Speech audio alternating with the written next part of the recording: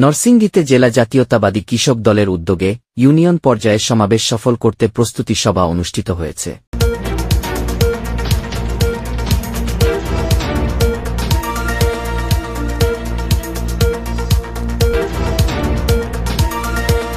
শনিবার বিকেলে নরসিংদী সদর উপজেলার চিনিশপুর জেলা বিএনপির কার্যালয়ে এই সভা অনুষ্ঠিত হয়। সভাপতিত্ব করেন জেলা কৃষক দলের আহ্বায়ক ও নরসিংদী সরকারি কলেজের সাবেক VP Mohammad Shafiqul Islam apple.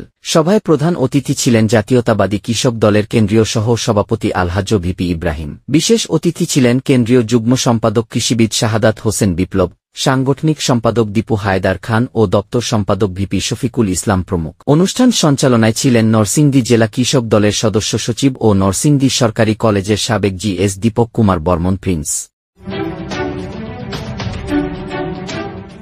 Chetona TV. স্বাধীনতার চেতনায় চির উজ্জ্বল। আমাদের সঙ্গেই থাকুন।